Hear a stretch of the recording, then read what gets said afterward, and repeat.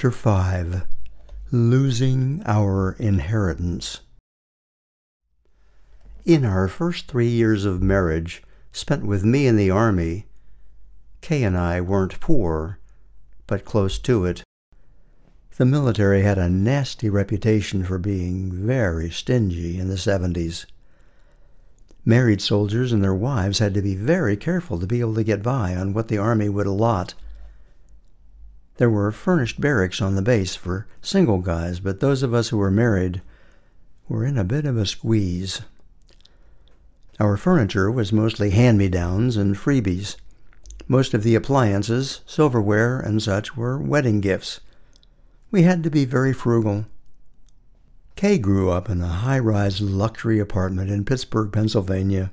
She was accustomed to the very best of everything. She was not prepared for this style of living. It did not suit her. One day, Kay discovered that I had a small stock portfolio that I had inherited from my beloved grandfather. I had been watching it grow for years. I wasn't hiding it from her or anything, but she acted as if I had been. She flew off the handle. We began the first of many nasty fights to follow. You mean to tell me that we could have bought beautiful things and are living with this crap? She snarled. You don't love me at all to make me live this way. I tried to explain to her the way my grandfather had told me when he left it to me. The portfolio should be set aside for much later in life. Compound interest would make it grow and grow like a giant oak if left alone.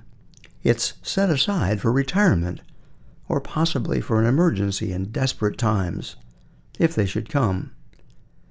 These were not desperate times, I told her. They were pulling in your belt times. This was a concept that Kay could not grasp. If you had money now, you spent it now. Right now. Kay's fighting skills were far superior to mine. She could go on and on for hours with a finger in your face, a bitter tone, and harsh words. I had never experienced this kind of exchange, except for seeing Elizabeth Taylor in Who's Afraid of Virginia Woolf. After several days arguing into screaming midnights, she wore me down. I cashed in my portfolio and we went on a giddy two week spending spree. Kay really showed me how to spend money like a rich person. It was quite an education. We started at the Ethan Allen store. Every piece is made with the most expensive, elegant woods, handcrafted with the finest finishes. Their fabrics are legendary. The chair she had to have was an impossibly comfortable, overstuffed Ethan Allen chair. It was priced about five times what I had imagined. Then she wanted to put custom fabric on it. Not just any fabric, but the special kind of fabric that they keep the sample book way up on the top shelf. It had a weave that was like a painting. There was a depth to the fabric. The fabric choice added another third to the price of the chair. I was learning quickly. That was 10% of the stock portfolio. My stomach was dropping. Now for a bookcase. I had never seen such fine workmanship in wood before. The joints were perfect. No screws or bolts or anything holding it together. I don't know how they did it. Another 10%.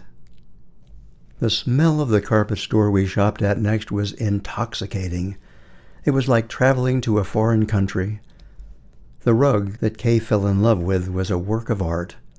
I had to admit it was one of the most beautiful things I had ever seen. Another 10%. The rest of the money flowed through her hands till it was all gone. New clothes, some high-end pots and pans.